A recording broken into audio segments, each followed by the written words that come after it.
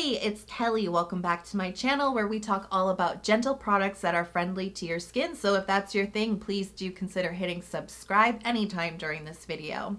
So today I'm talking about Second Chance Skincare. These are products that did not give me the ooh la la sensation when I first tried them out. They either got a bad review from me or an eh review. And so today I have three products, one from Vichy, Rovectin, and one from Element that I want to revisit, tell you about what I thought about them on first try and what I think about them on the second chance. Let's jump right into it, give the video a big thumbs up, and let's go. First up is the Vichy Mineral 89 Booster. So what did I think about it when I first tried it back in the summer? Nah, kind of boring that's kind of how I felt about it. I was like, this is not really all that impressive. Now, this is an incredibly popular, I would even say iconic product when it comes to French pharmacy brands. This has been around for a really long time. It's kind of like just in our consciousness, whether we have tried it or not. I mean, I have even tried K-Beauty knockoff products of this. They look exactly the same. Now, there really are two sort of star ingredients, and one is, as you can see, sodium hyaluronate or hyaluronic acid. This being marketed as a hyaluronic acid booster, especially when I first tried this, as excited as I was because it is so popular popular, I was just like, uh, okay, like ingredient wise, like they're not reinventing the wheel here at all. However, there is another ingredient here that I think gets underplayed a little bit more in North America, but you're gonna see it promoted a lot more in France and in Europe, and that is mineral water. This has 89% of mineral water, and that's what you see right at the top of the ingredients. It just doesn't stand out because it's just listed as plain water. Now, mineral water has all these wonderful components, all these minerals and vitamins for your skin that help to promote a healthy skin microbiome, to promote healthy, strong skin skin. And um, it does seem a little bit like woo woo, like fancy mineral infused water for your skin. But let me tell you, as somebody who's been using fancy mineral infused water for their skin for many, many months now, I can attest to the fact that it actually does seem to help. It really does help. I have sensitive skin. I um, sometimes get eczema flare-ups. Like my skin really appreciates having a healthy microbiome and a strong moisture barrier. And this is just one way to approach that with mineral water. I've been adding it into my routine where my skin really does need a little extra hydration. It's uh, winter time. I need any little extra TLC that I can get, right? So I've been using this right after toner before serum and like I think this is making a difference in my skin. it is a very, very subtle difference. But now that I kind of know what mineral water can do for my skin because I have been using the La Roche-Posay thermal water spray um, through most of my skincare routines for the last couple of months. And that's what I'd say about that product too. It's extra. It's not a huge, like big difference, but I've noticed a difference and it's worth continuing to use. That's kind of how I feel feel about this. And I'm really feeling like the word booster is so appropriate because this just kind of boosts my overall routine. It just makes my skin feel strong and healthy you know, it has really helped to cut down on inflammation and redness. This is not the star of my anti-irritation, anti-inflammation uh, routine, not by any means, but I can tell that this is helping. I can tell that this is boosting the effects. My skin does seem to respond well to French pharmacy products with, you know, mineral water in it. And now that I kind of can recognize that, now that I have a baseline for that, I can tell that this product is is is making a difference in my routine. It's nice product. I understand it now. I understand it a lot better. I'm enjoying it um, a lot more. And so yeah, my opinion has changed on this just a little bit. Next up, let's talk about Rovectin Anti-Irritant Barrier Repair Ultra Cream. So this is like a very exciting looking product. Like this is like a Kelly centric product. This is something you know I would get excited about. It's a barrier focused moisturizer. And I will say like call back to many, not many years ago, call back to like like 2018, 2019, um, I was using the Rovectin Barrier Repair Face and Body Cream. And that was actually when my I was struggling with my, my moisture barrier and I really enjoyed that product. It actually helped my skin quite a bit. Um, so I have very fond memories of like barrier repair creams and Rovectin. So when I first saw this, I was very intrigued when I first tried this, I was like, okay. Um, and my initial opinion of this, which I haven't had the opportunity to share fully with you um, just yet, when I first tried this out, um, I actually thought that it was starting to congest my skin. I started to get quite a bit of clogged pores after like day three of using this as my main moisturizer. And I was like, uh-uh, it's got to go. So this actually is somewhat similar to the face and body barrier repair cream from from Rovectin. They share some of the same uh, key ingredients, including shea butter, niacinamide, ceramide, and fatty acids. But the textures here are very, very different, where the face and body cream is a bit more um, buttery and thick and creamy. This is uh, different. This is a little bit more of a texture that I would classify as ointment-like. Um, it looks um, like a lighter cream, but as you spread this onto your skin, it will kind of spread out into kind of a lighter layer that has a nourishment. You can feel the oils in here. There's um, avocado oil in here. There's a couple other ones I can't remember right now, but I'm going to put the ingredient card on the screen right now.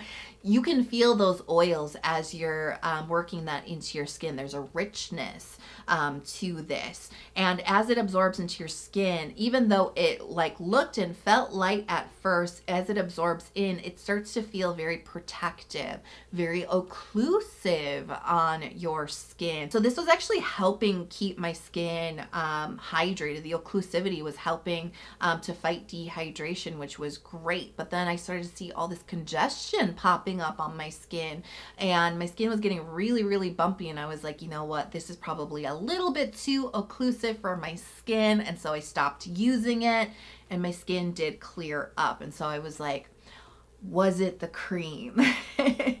we are so quick to jump to conclusions about uh, new products clogging our skin, right?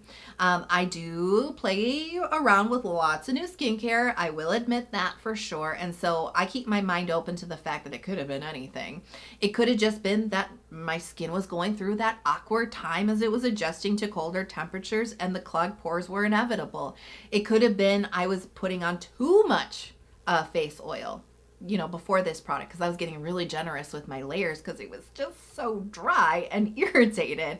I was like, maybe I put on too much oil, you know, um, maybe it was the wrong combination of products. So there's always so many factors that go into why our skin does what it does. It's not just necessarily about one product. And so that's really the spirit of this video is like giving things a second chance if you're feeling brave enough, right? Which like I said, fair game. Let's go. Um, so I wanted to let my skin kind of like calm down, clear up. Um, and then I, I added this back into my skincare routine to give it a second chance. Now that I've been using it for about two weeks, I have noticed my skin is not congested. so I don't think it was this cream. It may have been this cream plus the other products that I was using with it.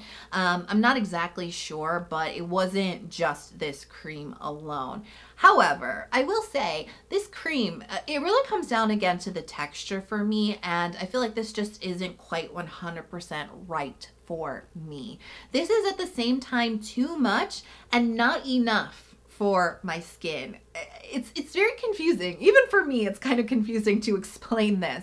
Um, for me, I prefer more medium weight types of moisturizers um, like CeraVe Moisturizing Cream or Illiyoon Ato Ceramide Concentrate Cream, the two that I talk about the most that have really nice medium weight um, textures, but a little bit more of a traditional moisturizer cream type of texture.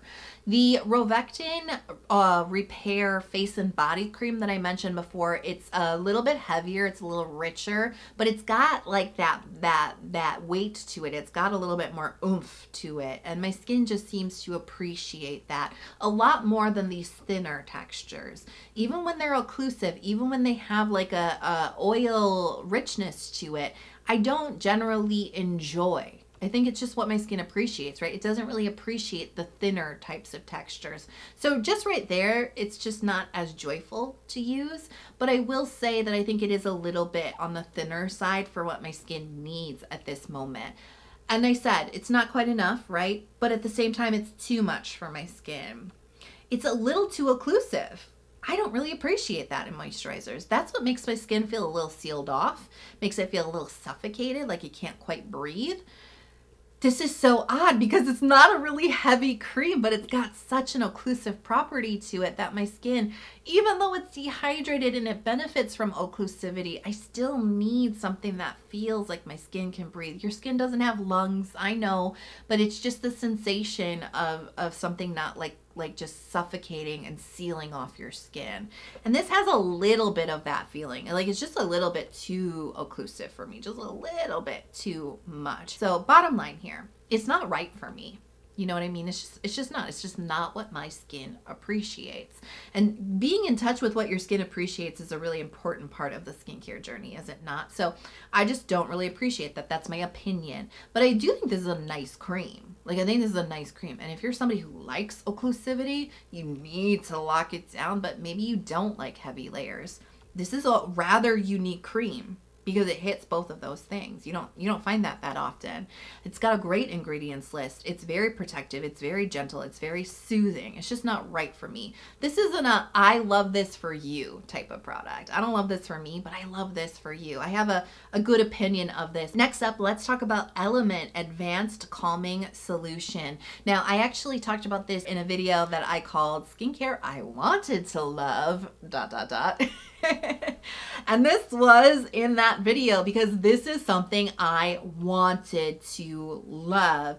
And um, really my opinion about this product back then was like, eh, it really did not meet my expectations at all. So what is this? This is kind of marketed as a toner and or serum. So it's kind of like a two-in-one type of product that has about 60% of centella in it plus some polysaccharides. It's really focused on calming, soothing, irritated skin, hydrating it, focused on skin health. And at the time, this brand had just kind of been unveiled, um, the Element brand, and there was a lot of hype around the brand itself. I mean, I'm not gonna lie, the aesthetics of this brand really drew me in, and the philosophy of the brand really drew me in. You know, they really do focus on focusing just on the ingredients that are proven to work for your skin in uncomplicated formulas without any necessary frills, with no fragrances and all of that. That drew me in. I was like, just stick to what, what, what works, keeping it minimal, keeping it sensitive skin friendly. That definitely drew me in. But I mean, it's gorgeous.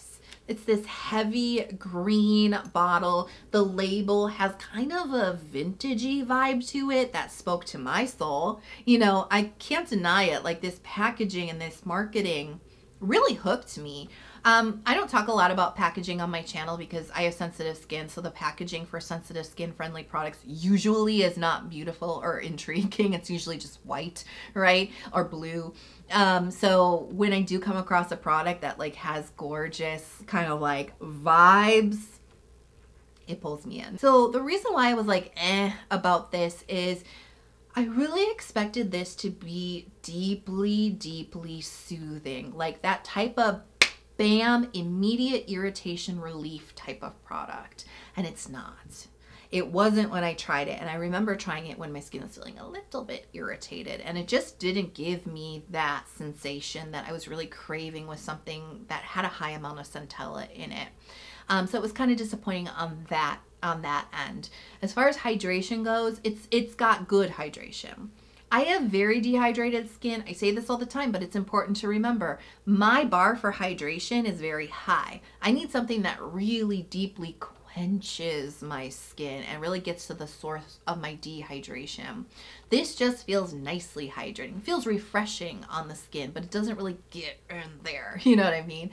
So it just for points points off like just for my specific skin. So I came across this again. I was like, you know what? Let me just like add this into my routine. Much like the Vichy um, booster, it was like, I know this is going to add a little something to my routine and it'll be fine.